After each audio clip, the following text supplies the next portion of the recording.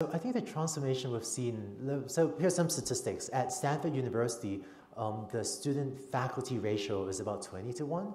Um, at the University of Phoenix, largely really an online university, I think the student faculty ratio is about 24 to 1, so you know, not that dissimilar from, from a traditional older university like Stanford.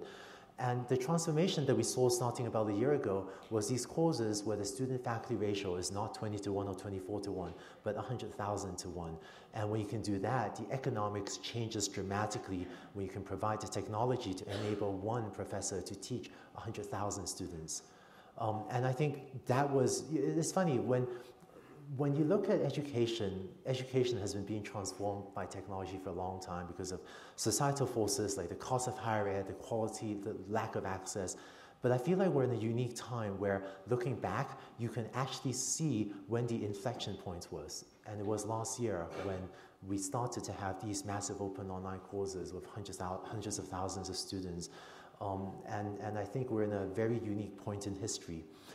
Um, and, and thinking about you know the top universities participating in, in, in these courses too, I think technology is transforming higher ed, and none of us really know what the future of it will be like.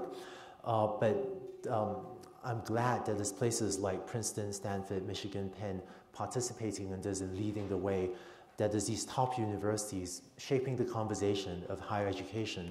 Because frankly, if it isn't places like Princeton, Stanford, Penn, Michigan doing this, it may be other institutions without the high academic standards of these institutions, and that would be to the detriment of everyone.